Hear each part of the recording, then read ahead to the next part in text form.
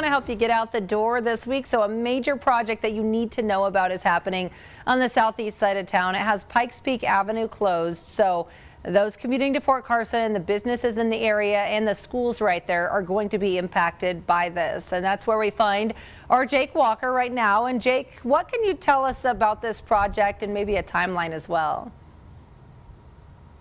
Well, good morning, Bree. Right now, things are open. You can see behind me, but that's not going to be the case in just minutes. This busy intersection with a bunch of Fort Carson families is going to be locked down starting for a week for improvement projects. Those improvement projects are going to help the roadways, and if you're in this area, you'll be detoured onto Chelton Road from either Airport or Bijou.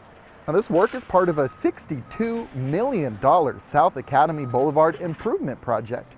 Crews are hoping to address drainage issues on the older road and are adding a multi-use path as well. I talked with Ryan Phipps with the City of Colorado Springs who says the work is worth the wait.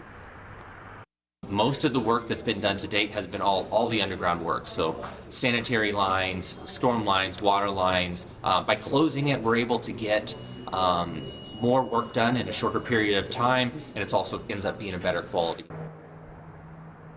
Again, the closure will be in place now until next Friday, the 26th. So if you're planning on driving through this intersection, you'll definitely want to add some extra time to your commute or maybe even find an alternate path. Uh, definitely keep an eye out for workers out here on the site as well. And as you're heading out the door this morning, I just want to mention you'll definitely need this, your jacket. It is cold when the wind picks up out here, guys. For now, live in Colorado Springs, I'm Jake Walker, News 5. That really is. Thank you, Jake. And with